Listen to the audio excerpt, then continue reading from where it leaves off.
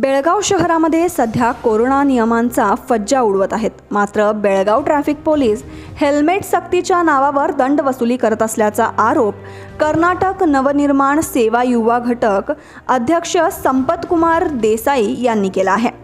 रविवारी कन्नड साहित्य भवन येथे आयोजित पत्रकार परिषदेमध्ये त्यांनी पोलिसांवर आरोप केला आहे.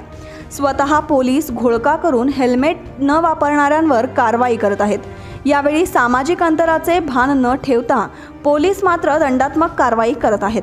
एवढेच नसून शहरामध्ये सर्वसामान्य नागरिक सामाजिक अंतर आणि मास्क न वापरता शहरात खरेदीसाठी धावपळ करत आहेत.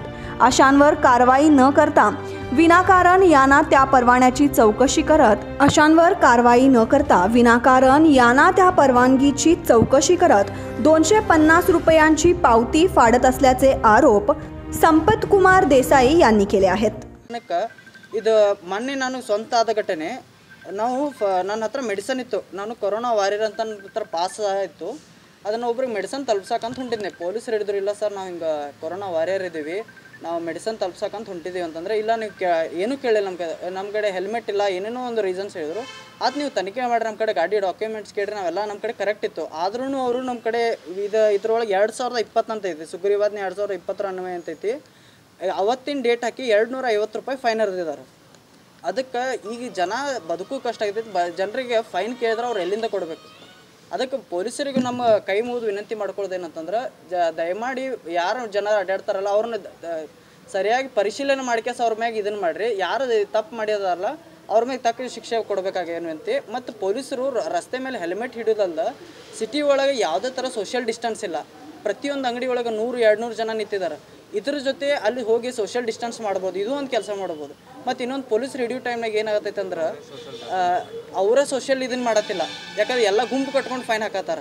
ಅದೊಂದು ದೊಡ್ಡ ಇದಾಗತ್ತೆ. ಕೋವಿಡ್ ಮ ಹರಡಾತೈತೆ ಅಂಥದ್ರಾಗೂ ಇವ್ರು ಇದನ್ನು ಮಾಡತ್ತಾರ. ಮತ್ತು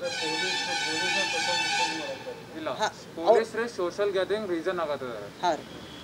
ಅವ್ರು ಫೈನ್ ಹಾಕ್ಲಿಕ್ಕೆ ಕಾನೂನು ಫೈನ್ ಅಂತ ಕೇಸ್ ಹೇಳ್ಬಿಟ್ಟು ನಿಲ್ಲಿಸ್ಕೊಂಡು ಅವ್ರು ಒಂದು ಸೋಷಿಯಲ್ ಗ್ಯಾದರಿಂಗ್ ಮಾಡ್ಕೊಂಡು ಅವರೇ they are the main reason ಅವರೇ ರೀಸನ್ ಅದ जिल्हा हॉस्पिटलमध्ये बेड आणि ऑक्सिजनची कमतरता असून देखील लोकप्रतिनिधी याकडे दुर्लक्ष करत असल्याचा त्यांनी आरोप केला आहे इतर राज्यांमध्ये कोविड ट्रीटमेंट मोफत केली जाते पण आपल्या कर्नाटकामध्ये असे होत नाही याचे कारण समजले नाही असे ते म्हणाले यावेळी सचिन चौगुले सह इतर कार्यकर्ते उपस्थित होते Mahadev Pawar K N N C D news Belgaum.